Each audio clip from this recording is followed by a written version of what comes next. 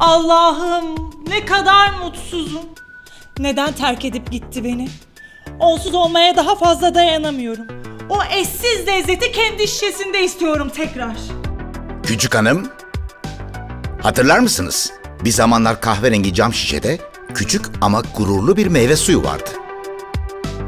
Ama sen Sadık tutumunuz beni çok etkiledi. Bu ısrarınıza daha fazla dayanamazdım.